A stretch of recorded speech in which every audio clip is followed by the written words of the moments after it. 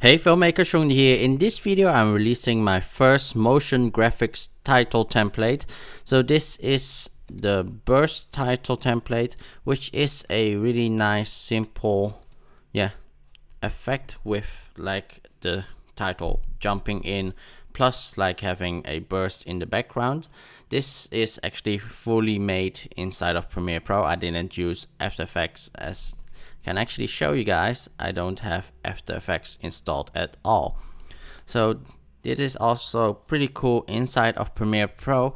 You can now quickly actually edit the title if you open or have it on graphics you have like the essential graphics menu and if you choose edit you can easily edit the text actually by changing like the fonts also the colors and everything and also if you hit the T tool you can just change the text to anything. So here like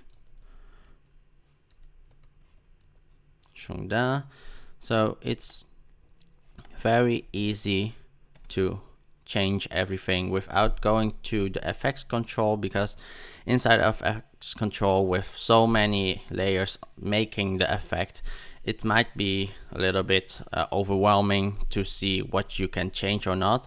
So if you open the essential graphics, you can easily change like the color of the burst. So we make it to yellow instead of red.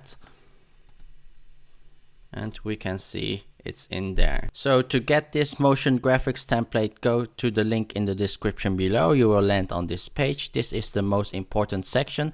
Press on one of the social media buttons in this section and this section will disappear and a download link will appear and if you really appreciate what I do there's also a donate button here below. Once you have downloaded the file, unzip it, go to your essential graphics tab go to browse it and choose this button install motion graphics template and then navigate to this file and choose open. Once it's opened it will be here in this list and pretty much just drag and drop it onto your timeline.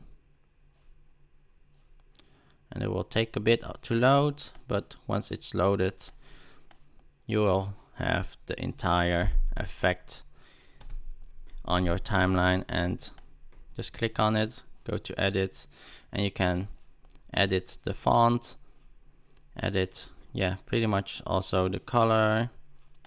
So let's make it this color and change the color of the burst